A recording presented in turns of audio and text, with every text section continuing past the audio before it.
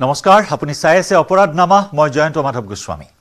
চাকৰি বিচাৰি যোৱা যুৱতীক ধৰ্ষণৰ অপচেষ্টা লখিমপুৰত সংঘটিত হৈছে এই চাঞ্চল্যকৰ তথা নিকৃষ্ট কাণ্ড। চাকৰিৰ প্ৰাৰ্থীক যুৱতীক ধৰ্ষণৰ অপচেষ্টা চলাই গ্ৰেপ্তাৰ হ'ল এজন চিকিৎসক।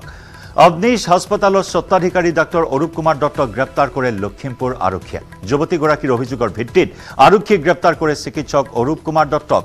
অভিযুক্ত চিকিৎসকক গ্ৰেপ্তাৰ কৰি লখিমপুৰ আৰক্ষীয়ে বৰ্তমান অব্যাহত ৰাখিছে তদন্ত।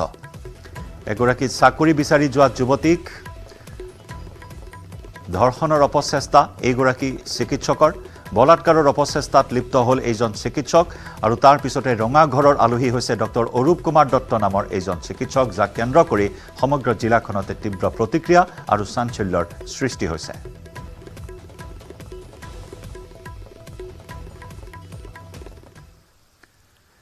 আকৌ অশান্ত হৈ উঠিছে মণিপুৰ। সদৌ মণিপুৰ ছাত্ৰ সন্থাৰ কাৰ্যালয়ত বোমা বিস্ফোৰণৰ নিশাই কেইবাটাও কাৰ্যালয়ত অগ্নিসংযোগ কৰে দুৰ্বৃত্তই। ধনমঞ্জুৰী বিশ্ববিদ্যালয় কেম্পাছত থকা সদৌ মণিপুৰ ছাত্ৰ সন্থাৰ কাৰ্যালয়ত দুৰ্বৃত্তই সংঘটিত কৰে বোমা বিস্ফোৰণ। অল মণিপুৰ ষ্টুডেণ্টছ ইউনিয়নৰ কাৰ্যালয়ত সংঘটিত বোমা বিস্ফোৰণত প্ৰাণ হেৰুৱালে এজনে।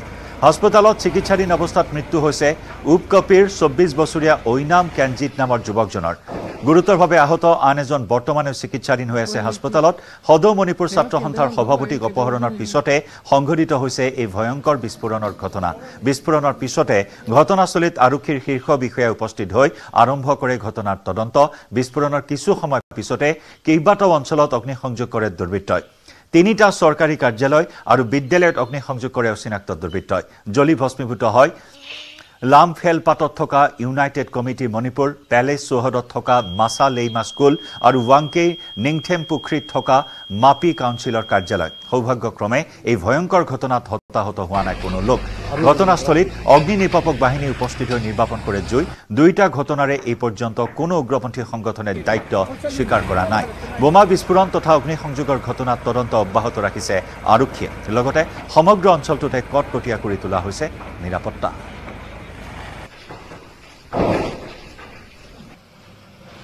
Upuan itu kaya tindaram khok lai ka jau du ni ৰাজ্যজুৰি অব্যাহত আছে সুদখোৰৰ বিৰুদ্ধে ব্যাপক অভিযান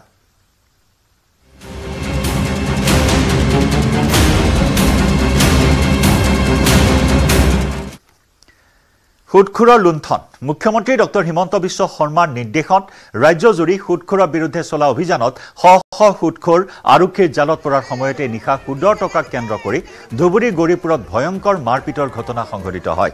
আলমগঞ্জ অষ্টমীৰচৰ গাঁৱত সুদখোৰে মাটি দখলৰ চেষ্টা কৰাক লৈ ভয়ংকৰ মাৰপিট উল্লেখযোগ্য যে জহৰুদ্দিন নামৰ এজন লোকে সুদখোৰ উমৰ আলীৰ পৰা লৈছিল ডেৰ লাখ টকা। জহৰুদ্দিনে পৰিশোধ কৰিব পৰা নাছিল সম্পূৰ্ণ টকা যাৰ বাবে সুদখোৰ উমৰ আলী আৰু তেওঁৰ ভাই ভতিজা সকলোৱে মিলি জহৰুদ্দিনৰ মাটি দখলৰ চেষ্টা চলায়। মাটি দখলৰ বাবে খুটা পুতিবলৈ যোৱাৰ সময়তে জহৰ আলীৰ পৰিয়ালে বাধা প্ৰদান কৰাত মাৰপিট কৰে উমৰ আলীৰ পৰিয়ালে। ফলত কেইবাজনো আহত হোৱাৰ লগতে সংকটজনক অৱস্থাত জহৰুদ্দিনক হাস্পতালত ভৰ্তি কৰোৱা হয়। কালি সদিয়াত মুখ্যমন্ত্ৰীয়ে এটা বৃহৎ ঘোষণা কৰিছিল।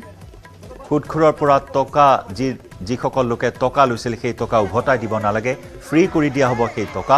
তেনেদৰে ঘোষণা কৰাৰ পাছতে ধুবুৰীৰ গৌৰীপুৰত এক সংঘাত এক ভয়ানক সংঘাত সুদখোৰৰ পৰা টকা লৈছিল ডেৰ লাখ টকা আৰু সেই টকা উভতাই দিব নোৱাৰাৰ বাবে ভুক্তভোগী পৰিয়ালটোৰ মাটি দখল কৰিবলৈ আহিছিল সুদখোৰ মাৰপিটত গুৰুতৰভাৱে আহত হ'ল এজন সংকটজনক অৱস্থাত ইতিমধ্যে হাস্পতালত ভৰ্তি কৰোৱা হৈছে জহৰ উদ্দিন নামৰ লোকজনক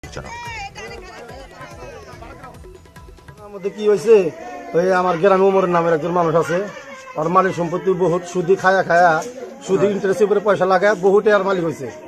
বহু টাকা হয়েছে তার জন্য আমার ভাই কিছু এক দেড় লাখ টাকা দিছিল। ওটা টাকাটা আবার দিছে। সুদ- হ্যাঁ সুদ হিসাবে দিছিল হ্যাঁ, তারপিছত? ওটা আবার সুদের টাকাটা ঘুরা দিছে। হ্যাঁ। ঘুরা দেওয়ার পরে কিছু লাভ পাইলো নি। হ্যাঁ। ওই লাভটা দেওয়া দেরি হয়েছে আমার ফাইনাল খোটা কাটছে। হ্যাঁ। হুম। ফাইনাল মাটিতে খোটা কাটছে দেওয়ানিরা কইছে যে সুদের টাকার জন্য এরকম কাটলি। নানানকে দেওয়ানি করে টেরা অভিযোগ করে মেলা কথা কইছে দেওয়ানি করে মানবো না। আমার পয়সা আছে পয়সা তো সব কিনে নিম। এরকমই কইছে। তা কতদিন ধরে সুদের টাকা কোনে কোনে মাৰিলে এই ওমর সাইপুর হ্যাঁ রাজ সাজুদ্দি আইনাল আৰ- আৰক্ষীক খবৰ দিয়া নাই? এতে আরও কি খবর দিছু? আর খবর দিছু মারামারি সময় উরা- আমার বাড়ির ভিতরে আছে নাডি নিয়ে। মোক ভাই একটা কোবাইছে। এই কোবানোর পরে আরও কি ফোন মারিছে আরও কি ফোন কাইটা দিছে।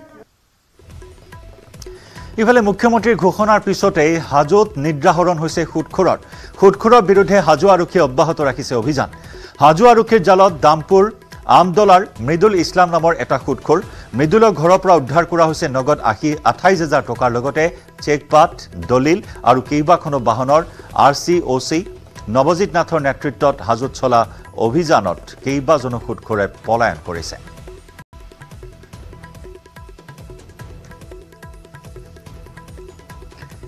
আমি পুনৰ জনাইছো আৰক্ষীৰ অভিযান ব্যাপক অভিযান চলিছে সুদখোৰৰ বিৰুদ্ধে আৰু এই এটা সুদখোৰ মৃদুলৰ ঘৰৰ পৰা উদ্ধাৰ কৰা হৈছে নগদ আঠাইছ হাজাৰ টকাৰ লগতে চেকপাত দলিল আৰু কেইবাখনো বাহনৰ R C O' C Nabajit নাথৰ নেতৃত্বত হাজোত চলা অভিযানত কেইবাজনো সুদখোৰে পলায়ন কৰাৰ খবৰো লাভ কৰা হৈছে আৰু সেই পলাতক অৱস্থাত থকা সুদখোৰৰ বিৰুদ্ধে অভিযান এতিয়া তীব্ৰতৰ কৰি তোলা হৈছে।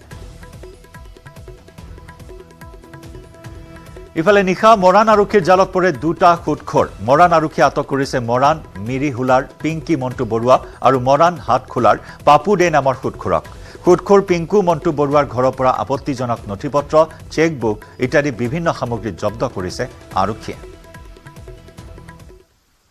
আৰক্ষীয়ে অভিযান চলাইছিলে সুদখোৰৰ বিৰুদ্ধে। মৰাণ আপোনাৰ দুই নং মিৰিহোলাৰ নিবাসী মণ্টু পাংকি বুলি যিজন বিখ্যাত তেওঁ ঘৰত আজি অভিযান চলালে। আৰু আমি ভি ডি পি হিচাপে উপস্থিত আছিলোঁ। তেওঁলোকে চেক পাইছে তাৰপিছতে দলিলো পাইছে তেওঁলোকে।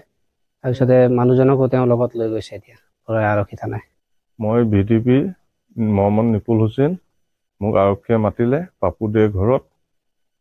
পাপুদেৰ ঘৰত আহি চেক কৰি আৰক্ষীয়ে পাপুদেক লৈ যায়। থানালৈ লৈ গৈছে সুদখোৰ সংক্ৰান্তত ইফালে ধেমাজিতো আৰক্ষীৰ জালত পৰিছে এটা সুদখোৰ বিজয় নৰহ নামৰ সুদখোৰক আটক আৰক্ষীৰ দুই কৰ্মচাৰীৰ অভিযোগৰ ভিত্তিত সুদখোৰ বিজয়ক আটক। কৃষ্ণ দাস আৰু বুদ্ধেশ্বৰ বৰুৱাই দাখিল কৰিছিল এজাহাৰ বিজয় নৰহক নিজ বাসগৃহৰ পৰা আটক আৰক্ষীৰ ধৃত সুদখোৰক আৰক্ষীৰ মাৰাথন জেৰা অব্যাহত। কালি মুখ্যমন্ত্ৰীগৰাকীয়ে এটা বৃহৎ ঘোষণা কৰে। লাখ লাখ সুদত লোৱা লোকৰ বাবে এটা বৃহৎ ঘোষণা মুখ্যমন্ত্ৰীৰ। সুদখোৰক টকা উভতাই দিব নালাগে। তাৰ পিছতো বিভিন্ন স্থানত সুদখোৰ বিৰোধী অভিযান চলি আছে। আৰক্ষীৰ এই ব্যাপক অভিযানত বহু সুদখোৰ জালত পৰিছে। শতাধিক সুদখোৰক এই মুহূৰ্তলৈকে জালত পেলোৱা হৈছে। মুঠৰ ওপৰত মুখ্যমন্ত্ৰীৰ পণ যে সুদখোৰৰ এই দোকান যিকোনো প্ৰকাৰে বন্ধ কৰিব ৰাজ্যত।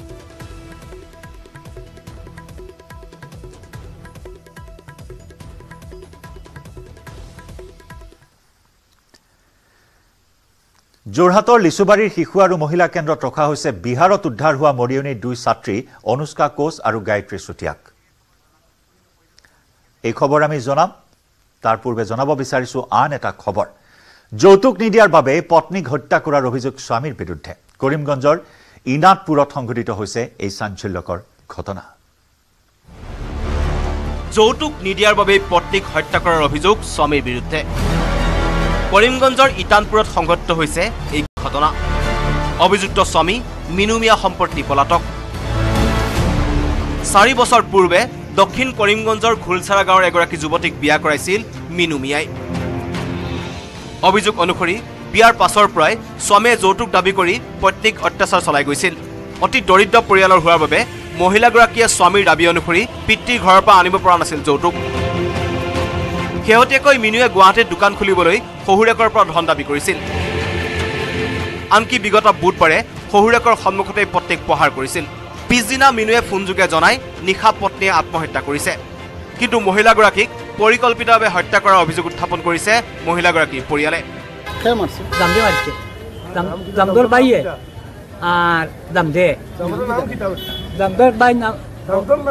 নাম মিনু। আনহাতে মহিলাগৰাকীৰ মৃতদেহতো পোৱা গৈছে আঘাতৰ চিন। মৃত মহিলাগৰাকীৰ পৰিয়ালে কৰিমগঞ্জ থানাত মিনু আৰু তেওঁৰ পিতৃৰ বিৰুদ্ধে দাখিল কৰিছে এজাহাৰ। ইয়াৰ পিছতে এতিয়া পলায়ন কৰিছে অভিযুক্ত মিনু আৰু মিনুৰ পিতৃয়ে। কৰিমগঞ্জৰ পৰা Gourish নন্দীৰ report news eighteen Assam north east. যোৰহাটৰ লিচুবাৰীৰ শিশু আৰু মহিলা কেন্দ্ৰত ৰখা হৈছে বিহাৰত উদ্ধাৰ হোৱা মৰিয়নিৰ দুই ছাত্ৰী অনুষ্কা কোচ আৰু গায়ত্ৰী চুতীয়াক মৰিয়নি আৰক্ষীয়ে সোধা পোছাৰ অন্তত শিশু আৰু মহিলা কেন্দ্ৰলৈ প্ৰেৰণ কৰা হয় দুয়োকে। বৃহস্পতিবাৰে বেংগালুৰুৰ পৰা ৰেলেৰে আহি থকা অৱস্থাত দুয়োগৰাকী নিখোজ ছাত্ৰীক উদ্ধাৰ কৰিছিল পৰিয়ালে। ইয়াৰ পিছতে পৰিয়ালে মৰিয়নি থানাত হাজিৰ কৰায় দুয়োকে। পিছত আৰক্ষীয়ে সোধা পোছাৰ অন্তত যোৰহাটৰ লিচুবাৰীৰ শিশু আৰু মহিলা কেন্দ্ৰলৈ প্ৰেৰণ কৰে আৰক্ষীয়ে। মৰিয়নিৰ পৰা আমাৰ সাংবাদিক জ্যোতিপ্ৰসাদ গগৈৰ সৈতে সংযুক্ত হৈছোঁ। জ্যোতিপ্ৰসাদ এই মুহূৰ্তত আৰু কি কি তথ্য সন্মুখলৈ আহিছে? দুই কিশোৰী সন্দৰ্ভত। নিশ্চয়কৈ জয়ন্ত যি আচলতে দুগৰাকী যি ছাত্ৰী উদ্ধাৰ হোৱাৰ পাছত কালি যিহেতু সন্ধিয়া তেওঁলোকক মৰিনী আৰক্ষী তেওঁলোক হাজিৰ হৈছিল। তাৰপিছত আৰক্ষীয়ে সোধপোছ কৰিলে কিন্তু তেওঁলোকৰ পৰা আৰু তথ্য উলিয়াবলগীয়া আছে উচ্চপদস্থ আৰক্ষী বিষয়াই তেওঁলোকক সোধপোছ কৰিব। কিন্তু আজি তেওঁলোকক আদালতত হাজিৰ দণ্ডাধীশৰ আগত তেওঁলোকৰ ষ্টেটমেণ্ট হয়তো ৰেকৰ্ড কৰাৰ কথা আছিল কিন্তু আজি চিলাৰায় দিৱসৰ কাৰণে আজি বন্ধ হৈ থকাৰ কাৰণে আজি কোৰ্ট বন্ধ আছে। আৰু সেইবাবে আচলতে তেওঁলোকক আজি কোৰ্টত প্ৰডিউচ কৰিব পৰা নাযাব বা হাজিৰ কৰিব পৰা নাযাব। সেইবাবে হয়তো সোমবাৰলৈ অপেক্ষা কৰি- কৰিব লাগিব আৰক্ষীয়ে। সোমবাৰেহে তেওঁলোকক আচলতে দণ্ডাধীশৰ সন্মুখত হাজিৰ কৰাই তেওঁলোকৰ পৰা ষ্টেটমেণ্ট গ্ৰহণ কৰিব। কিন্তু জয়ন্ত এইখিনিতে কৈ থ'ব লাগিব যে আচলতে এই দুগৰাকী ছাত্ৰীক আচলতে ভালদৰে ক- কৰাৰ কথা আৰক্ষীয়ে ইতিমধ্যে প্ৰকাশ কৰিছে যে তেওঁলোকৰ পৰা বহুত কথা আচলতে জানিবলৈ আছে। তেওঁলোকে যিখিনি তথ্য দিছে সেই তথ্যখিনি সঠিক হয় নে নহয় সঁচা হয় নে নহয় সেইখিনি আচলতে প্ৰমাণ কৰিবৰ কাৰণেও চেষ্টা কৰি আছে। তেওঁলোকে আচলতে কাৰ লগত গৈছিল বা ক'ত আছিল যি দুগৰাকী তিনিগৰাকী যুৱতীৰ কথা কৈছিল তেওঁলোক য'ত তেওঁলোকে বাংগালত আশ্ৰয় গ্ৰহণ কৰি আছিল গুৱাহাটীৰ সেই ৰহস্যময়ী যুৱতীৰ কিবা সন্ধান লাভ কৰা হৈছে? জ্যোতিপ্ৰসাদ?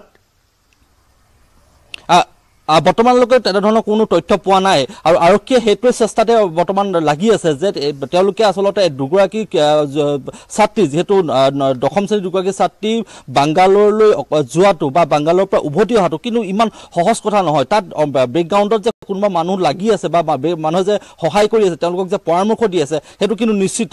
বাংগালোৰৰ পৰা তেওঁলোকে দুজ- দুজনীকৈ ছাত্ৰী আচলতে ইমান কম বয়সীয়া ছাত্ৰী এখন ইমান বিশাল নগৰৰ পৰা। ট্ৰেইনেৰে আহি তেওঁলোকে বিহাৰত উপস্থিত হ'ব আহি বা- তেওঁলোকে গুৱাহাটীৰ পৰা বাংগালোৰলৈ কেনেকৈ যাব এই গোটেই আঁৰত যে এটা চক্ৰ জড়িত হৈ আছে শক্তিশালী চক্ৰ এটাই তেওঁলোকক নিয়ন্ত্ৰণ কৰি আছে সেইটো ইতিমধ্যে প্ৰমাণিত হৈছে আৰু সেই যিটো চক্ৰটো আচলতে কোন জড়িত হৈ আছে তাত সেই যি- দুগৰাকীৰ আশ্ৰয়ত আচলতে যাৰ ছত্ৰ ছায়াত সেই ছাত্ৰী দুগৰাকী আছিল আচলতে কোন আছিল সেই সেই দুগৰাকী যুৱতী ক'ত লগ পাইছিল কেনেকৈ তেওঁলোকৰ লগত সংযোগ হৈছিল এই কথাখিনি কিন্তু আহিব আৰু সেই কথাখিনিৰ অনুসন্ধান কৰিবৰ কাৰণে আৰক্ষীয়ে সময় ল'ব হয়তো আজিও তেওঁলোকক হয়তো সোধা পোছা কৰিব ন- আহ, কৰিবলৈ নকয় আমি সেইখিনি জানিব পৰা নাই কিন্তু তেওঁলোক বৰ্তমান যি নাৰী আৰু শিশুৰ সুৰক্ষা যি গৃহ নিৰীক্ষণ গৃহত বৰ্তমান যিহেতু ৰাখিছে তেওঁলোকক হয়তো আজি যদি তেওঁলোকক মেজিষ্ট্ৰেটৰ ওচৰত আজি হয়তো তেওঁলোকক হাজিৰ কৰালেহেঁতেন হয়তো আৰক্ষীয়ে সোধপোছ আৰু কৰিলেহেঁতেন। কিন্তু আজি যিহেতু বন্ধ বাৰ হোৱা- হোৱাৰ কাৰণে তেওঁলোকক আজি হাজিৰ কৰাব পৰা। নাযাব। কিন্তু হয়তো সোমবাৰে তেওঁলোকক হাজিৰ কৰাব। জয়ন্ত। ধন্যবাদ। জ্যোতিপ্ৰসাদ ধন্যবাদ জনাইছোঁ আপোনাক। আৰু হাজিৰ কৰাৰ পিছত আৰু বহু বিস্ফোৰক কাহিনী তথ্য উদঘাটন কৰা হ'ব দুয়োগৰাকী কিশোৰীৰ পৰা। এই বৃহৎ নেক্সাছ এই নেক্সাছটোক এতিয়া কেনেদৰে আৰক্ষীয়ে উৎখাত কৰে সেয়া হ'ব লক্ষণীয়। অপৰাধনামা অব্যাহত ৰাখিম সময় হৈছে এটা বাণিজ্যিক বিৰতি। ভাৰতৰ গৌৰৱ গোটেই বিশ্বতেই ইয়াৰ সন্মান। ষ্ট্ৰং মানে মাইথান ষ্টীল।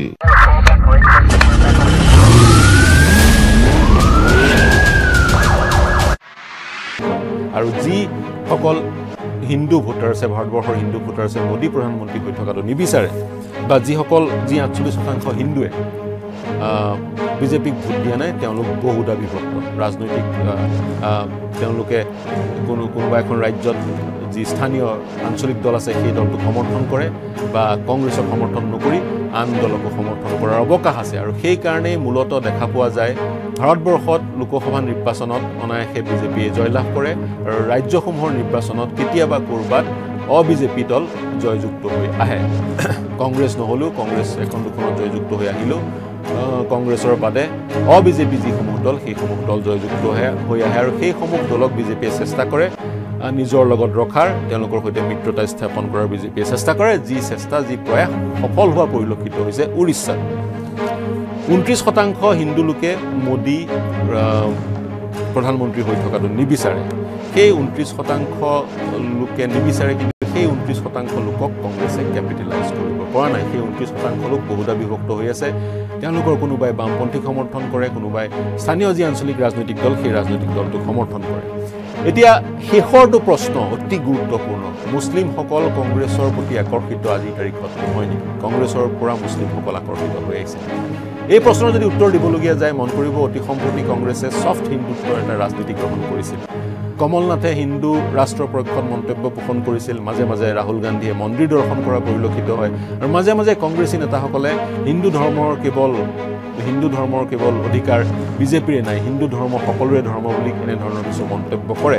গতিকে ধৰ্ম নিৰপেক্ষতাৰ যি ক'ৰ ভেলিউ কংগ্ৰেছে এনস্পাউজ কৰিছিলে কংগ্ৰেছে আগবঢ়াই লৈ গৈছিলে সেই ক'ৰ ভেলুৰ পৰা আঁতৰি ছফ্ট হিন্দুত্বৰ এক নীতি বিজেপি কংগ্ৰেছে গ্ৰহণ কৰা পৰিলক্ষিত হৈছিল। তাৰ কাৰণ এইটোৱেই বিজেপিৰ পৰা যাতে কিছু হিন্দু ভোটাৰ্ছ তেওঁলোকৰ প্ৰতি আকৰ্ষিত কৰিব পৰা যায়। কিন্তু এই প্ৰক্ৰিয়াৰ যোগেদি মুছলমান ভোটাৰসকলক তেওঁলোকে এলাগী কৰিলে বুলি ৰাজনৈতিক বিশ্লেষকে ক'ব খোজে। যিহেতু পোন্ধৰ শতাংশ মুছলমানে চি এছ ডি এছ লোকনীতিৰ সমীক্ষা অনুসৰি পোন্ধৰ শতাংশ মুছলমানে মোদী প্ৰধানমন্ত্ৰী হৈ থকাটো বিচাৰে। গতিকে ইয়াৰ পৰা এটা কথা বিশ্লেষণ কৰিব পৰা যায় একাংশ মুছলমান লোকে বিজেপিক সমৰ্থন দিবলৈ আগবাঢ়িছে। অৰ্থাৎ কংগ্ৰেছৰ পৰা আঁতৰিছে আৰু কংগ্ৰেছৰ পৰা আঁতৰি তেওঁলোকৰ কাৰণে সন্মুখত বিজেপি বিকল্প হিচাপে থিয় হৈছে। গতিকে বিজেপিৰ হাতত আজিৰ তাৰিখত মুছলমানসকলৰ সমৰ্থন আছে। আৰু এইটোৱেই এটা কাৰণ যিটো কাৰণত এজন এজনকৈ কংগ্ৰেছী নেতা বিজেপিৰ প্ৰতি ধাৱমান হোৱা বিজেপিৰ প্ৰতি আকৰ্ষিত কৰা আৰু বিজেপিত যোগদান কৰা পৰিলক্ষিত হৈছে অংক এইটোৱে কংগ্ৰেছে জন গণভিত্তি হেৰুৱাই পেলাইছে। কংগ্ৰেছ যিহেতু তেওঁলোকৰ যি মূল যি চিন্তাধাৰা সেই চিন্তাধাৰাৰ পৰা মাজে মাজে আঁতৰি অহাৰ কাৰণে তেওঁলোকক হিন্দুসকলেও গ্ৰহণ কৰা নাই। আৰু মুছলমানসকলেও এশ শতাংশই তেওঁলোক তেওঁলোকক গ্ৰহণ কৰা নাই। ঊনৈছ শতাংশ মুছলমান লোকে মোদী প্ৰধানমন্ত্ৰী হ'ব পোন্ধৰ শতাংশ মুছলমান ভাৰতবৰ্ষৰ মুছলমানে মোদী প্ৰধানমন্ত্ৰী হৈ থকাটো বিচাৰে। যিসকলে নিবিচাৰে তেওঁলোক বহুদা বিভক্ত তেওঁলোকৰ এশ শতাংশ যি ভোট সেই ভোট কংগ্ৰেছত নপৰে। গতিকে এই ধৰণৰ অংকসমূহ কৰি বিভিন্ন কংগ্ৰেছী নেতাসকলে বিশেষকৈ হিন্দু কংগ্ৰেছী নেতাসকলে চিন্তা চৰ্চা কৰি তেওঁলোকৰ যি ডেষ্টিনেশ্যন গন্তব্যস্থান বিজেপিয়ে বুলি তেওঁলোকে ঠাৱৰ কৰি লৈছে। আৰু ইয়াৰ পৰিপ্ৰেক্ষিতত যিহেতু বিজেপিৰ দুৱাৰখন বৰ্তমান খোলা তেওঁলোকে কংগ্ৰেছৰ নেতাসকলক স্বাগতম জনাই বিজেপিত গ্ৰহণ কৰিছে আৰু তেওঁলোকক বিভিন্ন কাম দিয়া হৈছে। তেওঁলোকক মুখ্যমন্ত্ৰী পৰ্যন্ত পদবী তেওঁলোকক যচা হৈছে। তেনে ক্ষেত্ৰত কং কংগ্ৰেছৰ নেতাসকলে বিজেপিত সম্ভাৱনীয়তা দেখা পাইছে আৰু সম্ভাৱনীয়তা দেখা পাই তেওঁলোক বিজেপিলৈ আহিবলৈ ধৰিছে আৰু এই প্ৰক্ৰিয়াৰ যোগেদি ক্ষতিগ্ৰস্ত হৈছে কংগ্ৰেছ কাৰণ কংগ্ৰেছ এটা নেৰেটিভৰ সৃষ্টি কৰিব পৰা নাই এটা পতিয়ঞ্জ এটা কনভিনচিং নেৰেটিভ সৃষ্টি কৰিব পৰা নাই যিটো নেৰেটিভ ভাৰতবৰ্ষৰ হিন্দুসকলে গ্ৰহণ কৰিব পাৰে যিটো নেৰেটিভ মুছলমানসকলে গ্ৰহণ কৰিব পাৰে। তেওঁলোকে মুছলমানৰ সপক্ষে মন্তব্য দিয়াৰ পৰা বিভিন্ন সময়ত বিৰত থাকে। ইয়াৰ কাৰণটো হৈছে মুছলমানৰ সপক্ষে মন্তব্য দিলে কৌশলগতভাৱে বিজেপিয়ে তেওঁলোকক মুছলমানক তোষামোদ কৰা বুলি কয়। আৰু যি এক ছফ্ট হিন্দুত্বৰ নীতি গ্ৰহণ কৰিছে সেই নীতিও হিন্দুসকলে সেই নীতিকো হিন্দুসকলে গ্ৰহণ কৰা নাই। এই মুহূৰ্তত সেইকাৰণে ক'ব লাগিব কংগ্ৰেছত দুটুৰ মুঠুৰ অৱস্থা। ৰাহুল গান্ধীয়ে ৰাহুল গান্ধীয়ে যি যাত্ৰা আৰম্ভ কৰিছে এই যাত্ৰাসমূহত পৰিলক্ষিত হৈছে তেওঁ নিজক বেছিকৈ গুৰুত্ব দিয়ে। তেওঁ নিজৰ যি ভাৱমূৰ্তি ভাৱমূৰ্তিত পৰিৱৰ্তন কৰাৰ কৰাৰ চেষ্টা এই যাত্ৰাসমূহৰ যোগেদি কৰা পৰিলক্ষিত হৈছে। দলতকৈ তেওঁ নিজকে বেছিকৈ গুৰুত্ব দিছে। ইতিহাসৰ পাতত তেওঁৰ নাম যাতে থাকি যায় বা ইতিহাস বা তেওঁক যি সময়ত বিভিন্ন কথাৰে তুচ্ছ তাচিল্য কৰাৰ এক পৰিৱেশ সৃষ্টি হৈছিল সেই পৰিৱেশ যাতে অনাগত সময়ত নাথাকে সেই কথা সন্মুখত ৰাখি ইলেক্ট্ৰেল পলিটিক্সক এলাগী কৰি যাত্ৰা কৰা পৰিলক্ষিত হৈছে যাৰ পৰিপ্ৰেক্ষিতত কংগ্ৰেছ দলটো ক্ষতিগ্ৰস্ত হোৱা বুলি ৰাজনৈতিক বিশ্লেষকে ক'ব বিচাৰে। আৰু ইয়াৰেই কাৰণ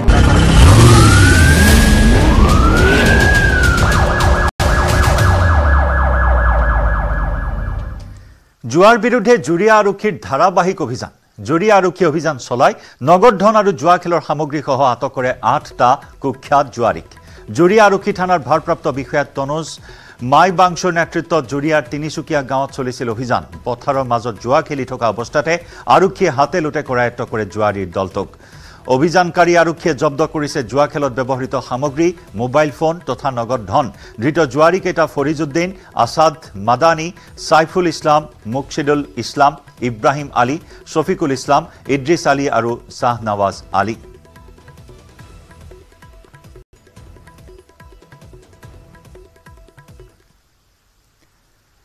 কৰিমগঞ্জৰ পৰা অপহৃত এগৰাকী কিশোৰীক চাৰি দিনৰ পিছত উদ্ধাৰ। কিশোৰী অপহৰণ কাণ্ডত জড়িত অভিযোগত এজনক গ্ৰেপ্তাৰ কৰিছে আৰক্ষীয়ে। কিন্তু এতিয়াও পলাতক অৱস্থাত আছে কেইবাটাও অভিযুক্ত।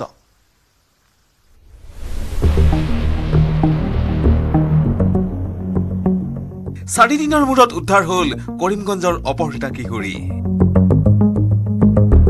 জাবিৰ আহমেদ নামৰ এটা লম্পতে অপহৰণ কৰি নিছিল কিশোৰীগৰাকীক। কিশোৰীৰে বলপূৰ্বক সম্পৰ্ক স্থাপন কৰি চলাইছিল নিৰ্যাতন। অপহৃতাক উদ্ধাৰৰ লগতে আৰক্ষীৰ জালত পৰিছে অপহৰণকাৰী জাবিৰ আহমেদ।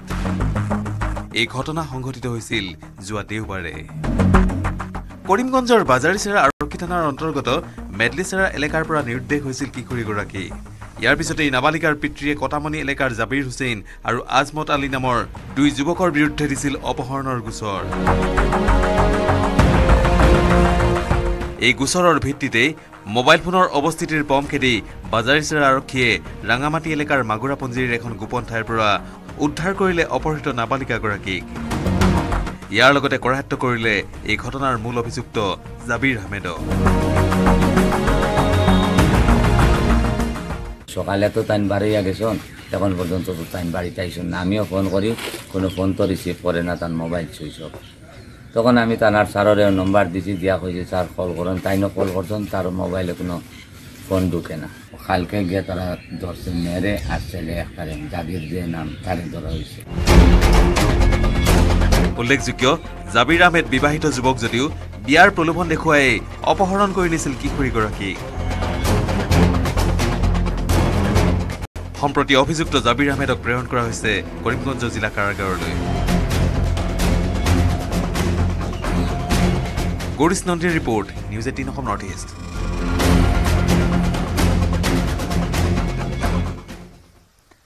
ঘাতক ডাম্পাৰে মহানগৰী ৰাজপথত পুনৰ ললে এজনৰ প্ৰাণ।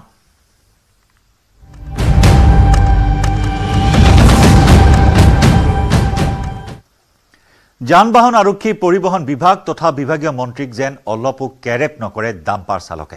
যান বাহন আৰক্ষীৰ কঠোৰ নিৰ্দেশনা তথা পৰিবহণ মন্ত্ৰীয়ে হাতজোৰ কৰি কাটৰ আহ্বান কৰাৰ দিনাই ঘাতক ডাম্পাৰে মহানগৰীত প্ৰাণ ললে এজনৰ। মহানগৰীৰ পদুমবৰীত নিশা সংঘটিত হৈছে এটা ভয়ানক পথ দুৰ্ঘটনা। দ্ৰুতবেগী ডাম্পাৰে মহতিয়াই লৈ যায় স্কুটি আৰোহীক চি চি কেমেৰাত বন্দী হোৱা শেহতীয়া ভিজুৱেলছ এই মুহূৰ্তত আমি আপোনাক দেখুৱাইছোঁ। এখন দ্ৰুতবেগী ডাম্পাৰ। এই ডাম্পাৰখনৰ খুন্দাত স্কুটি আৰোহীয়ে থিতাতে প্ৰাণ হেৰুৱাই গুৰুতৰভাৱে আহত হ'ল আন এজন যুৱক। ঘাতক ডাম্পাৰৰ খুন্দাত চুচুৰময় হৈ পৰে স্কুটিখন। দুৰ্ঘটনাত প্ৰাণ হেৰুওৱা লোকজন হিমান বৰা দুৰ্ঘটনাত আহতজনক নিশাই স্থানীয় ৰাইজে ভৰ্তি কৰোৱাই হাস্পতালত। ভয়ংকৰ দুৰ্ঘটনাৰ পিছতে উত্তপ্ত হৈ উঠে পৰিস্থিতি। উদণ্ড ডাম্পাৰ চালক তথা আৰক্ষী প্ৰশাসনৰ বিৰুদ্ধে ক্ষোভ প্ৰকাশ কৰিলে স্থানীয় ৰাইজে।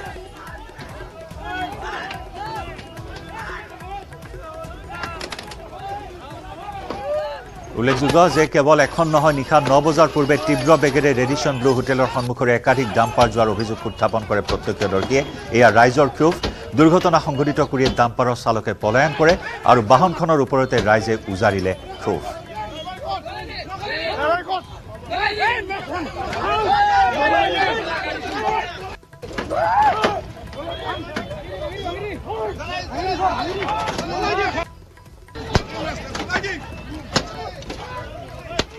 লানি নিচিগাকৈ তীব্ৰবেগী ডাম্পাৰ গৈ থকা ৰাস্তাত এজনো যান বাহন আৰক্ষী নথকাৰ অভিযোগ স্থানীয় ৰাইজৰ আৰু সেইবাবে ৰাইজৰ এনেদৰে ক্ষোভৰ বহি প্ৰকাশ ঘটিল। ট্ৰেফিক ছিগনেলত যান বাহন আৰক্ষীৰ এজনো লোক নথকাত ক্ষোভ উপস্থিত জনতাৰ। মন্ত্ৰী বিধায়ক আহিলেহে ট্ৰেফিক ছিগনেলত যান বাহন আৰক্ষী থাকে বুলিও অভিযোগ কৰিলে স্থানীয় লোকসকলে।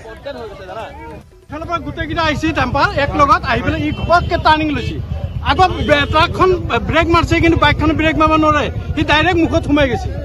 ডাইৰেক্ট মুখত সোমাই যায় সি স্পট ডেথ তাক হেৰি চাওক এই অকল লাষ্টটো লৈ যায়। এতিয়া চাওক নটা নবজাতে ডাম্পাৰবিলাক কেনেকৈ খোলা পায়?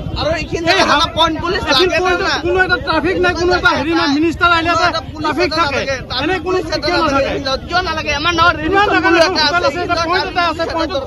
ট্ৰাফিক নাথাকে।